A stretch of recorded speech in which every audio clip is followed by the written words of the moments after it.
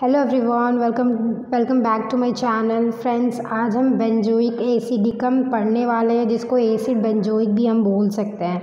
तो फ्रेंड्स ये जो मेडिसिन है, ये मेनली दो जगह बहुत अच्छा वर्क करता है। सबसे पहले तो यूरिनरी सिस्टम्स में और फिर हमारे रोमेटिक्स में। रोमेटिज्म के प्रॉब्लम जो होते हैं, गांठ में, पैरों में, हाथों में, ऐसे कंडीशन में बेंजोइक एसिडिक एसिडम बहुत अच्छा वर्क करता है। तो फ्रेंड्स चलिए इसको हम देखते हैं। बेंजोइकम एसिडिकम डिकम। ओके फ्रेंड्स इसका जो फॉर्मूला है वो लंबा सा है C H six H five C O dot O H okay friends तो अब इसका कंस्टिट्यूशन देखते हैं। तो इसका जो कंस्टिट्यूशन है वो है a gouty rheumatic diathesis engrafted on a gonorrhoeal और सिफिलिटिक पेशेंट ये जो बेंजोइक एसिड है, वो गोइटी में बहुत अच्छा काम करता है, जो गठिया हो जाते हैं मतलब गांठ गांठ में जो दर्द होता है, उसमें ये बहुत अच्छा वर्क करता है। देन वही रोमेटिज्म के प्रॉब्लम में और ये गोनोरियल और सिफिलिटिक पेशेंट में भी ये बहुत अच्छा काम करता है। तो फ्रेंड्स इसका जो जीआईटी सिस्टम है गैस्ट्रोइंटेस्टाइनल सिस्टम्स में क्या सिम्टम्स हैं? तो डायरिया ऑफ़ चिल्ड्रन ये बच्चों में डायरिया का प्रॉब्लम होगा, वो जो डायरिया होगा वो कैसा होगा, वो वाइट होगा, उसमें बहुत गंद होगा, बहुत ऑफेंसिव होगा। Then exhausting liquid stool running right right through diaper वो पोडोफाइलम में भी है। कहने का मतलब ये जो बच्चों का जो डायरिया होगा, वो तो पहले वाइट कलर का होगा, उसमें बहुत ज़्यादा स्मेल होगा, गंदा सा स्मेल होगा।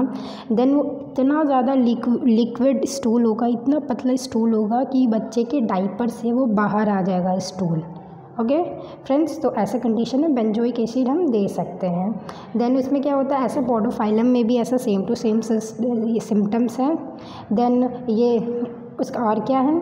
यूरिन यूरिन भी ऑफेंसिव होता है। And of a deep red colour और यूरिन का कलर भी होगा। वो रेड कलर टाइप होगा और यूरिन भी बहुत ऑफेंसिव होगा। तो फ्रेंड्स यहाँ से हमारा एक चीज़ क्लियर हो गया कि जो बेंजोइक एसिड का जो पेशेंट है, उसका स्टूल भी बहुत ज़्यादा ऑफेंसिव होगा और यूरिन भी बहुत ज़्यादा ऑफेंसिव होगा। ओके फ्रेंड्स तो चलिए फादर देखते हैं यूरिनरी सिस्टम्स में। तो यूरिनरी सिस्टम से ये जो डार्क है, ये बहुत इंपॉर्टेंट है, जैसे यूरिन डार्क ब्राउन। मतलब यूरिन डार्क ब्राउन का होगा and the urinous odour highly intensified तो फ्रेंड्स हम थोड़ा जीआईटी में भी देखें तो यूरिन तो पहले डार्क ब्राउन होगा, बहुत डार्क होगा यूरिन और वो बहुत ज़्यादा उसमें ऑर्डर होगा मतलब उसमें बहुत ऑफेंसिव होगा, गंदा सा स्मेल होगा, बहुत ज़्यादा स्मेल होगा यूरिन में और जो यूरिन होगा वो इंटेंसीफाइड होगा। कहने का मतलब कि कंसनट्रेटेड होगा यूरिन मीन्स लिक्विड कम होगा। पानी वो डाइल्यूट नहीं होगा, वो कंसनट्रेटेड होगा डार्क होगा। ओके फ्रेंड्स देन और क्या सिम्टम्स है? एसिड बेंजोइक बेंजोइक का यूरिनरी सिस्टम में एनोरेज एनोरेसिस होगा। ओके एनो एनोरेसिस मीन्स होता है इनवॉलेंट्री यूरिन कि मीन्स यूरिन पास आउट हो जाएगा और पता भी नहीं चलेगा। ओके ये enuresis nocturna of delicate children means ये बच्चों में होगा कि बच्चे बच्चे यूरिन कब पास आउट कर लेंगे और उन्हें पता भी नहीं चलेगा। ओके फ्रेंड्स देन इसमें क्या होगा? Dribbling urine of old man ये तो बच्चों का सिम्टम्स था कि इनवॉलेंट्री यूरिन हो जाएगा यूरिन होगा और उन्हें पता नहीं चलेगा। और ओल्ड एज में कैसा सिस्टम है? कैसा सिम्टम्स है? Dribbling urine dribbling urine means drop ऐसा यूरिन जो ड्रॉप बाई ड्रॉप हो मीन्स उनका क्लियर नहीं होगा। होगा तो धीरे धीरे होगा ड्रॉप बाई ड्रॉप होगा। Okay with in large prostate means old जिस ओल्ड पर्सन को प्रोस्टेट का प्रॉब्लम है और वो ड्रॉप बाई ड्रॉप यूरिन करे तो उसमें बहुत अच्छा वर्क करता है benzoic acid okay friends then इसमें क्या है? स्ट्रॉन्ग कैरेक्टरिस्टिक्स ऑर्डर वही है, हमने पहले भी दो बार पढ़ा कि यूरिन में बहुत ज़्यादा स्मेल होगा okay then excess of uric acid वही कि बेंजोइक एसिड के पेशेंट में एक्सेस ऑफ़ यूरिक एसिड होगा। फ्रेंड्स एक्चुअली ये दोनों से क्यों क्यों रिलेटेड है ये हमारे यूरिन और रोमेटिन से क्यों क्यों रिलेटेड है? क्योंकि बेंजोइक एसिड है इसमें यूरिक एसिड का प्रॉब्लम होता है। इसमें क्या होता है कि यूरिन यूरिक एसिड को अच्छे से फ़िल्टर आउट नहीं कर पाता। है इस वजह से वो हमारे बॉडी में एक्सेस हो जाता है यूरिक एसिड का अमाउंट और वो हमारे जाके जॉइंट्स में डिपॉजिट कर जाता है, जिस वजह से रोमेटिन गोइटी प्रॉब्लम्स होता है। ओके फ्रेंड्स तो चलिए हम आगे देखते हैं। तो फ्रेंड्स, अब ये इसमें क्या है? ये catarrh of bladder after suppressed gonorrhoea. Means अगर गोनोरिया सप्रेस गोनोरिया होने के बाद कोई कटार कोई किसी तरह का डिस्चार्ज है ब्लैडर में तो भी यूरिक ये बेंजोइक एसिड बहुत अच्छा वर्क करता है। देन इसका रिस्परेटरी सिम्टम्स क्या है?